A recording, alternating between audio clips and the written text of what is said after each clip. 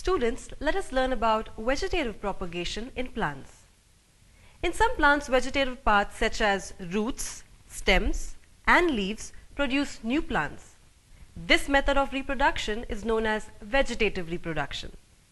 These plants possess the same characteristics of the parent plant. It helps in rapid propagation.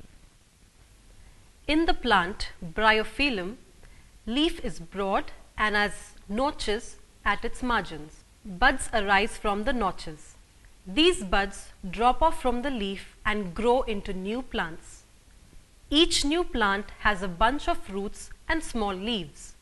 In the same way, leaves of begonia also give rise to new plants. You find small plants around a curry leaf plant. New plants arise from the roots of the curry leaf plant showing vegetative propagation through roots. Plants like sweet potato and tapioca have swollen roots. Food is stored in these roots. They are called tuberous roots. When these roots are cut and sown in the soil, they produce new plants. In potato, onion, ginger and turmeric, the shoot or the stem is subterranean that is, it grows under the ground. So it is called modified underground stem. When cut into pieces and put in the soil, gives rise to new plants. The food materials that are stored in the stem are used for vegetative propagation. In ginger, the stem grows horizontally in the ground.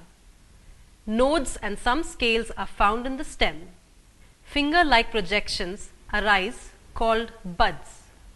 If a piece of ginger along with the bud is planted in the soil, it develops into a new plant.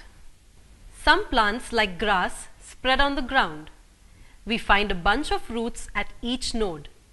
If a part of the stem of such plant along with roots is cut and planted in the soil, it grows into a new plant. Many types of grasses multiply vegetatively. From the above lesson, we have learned how the vegetative propagation takes place in the plants.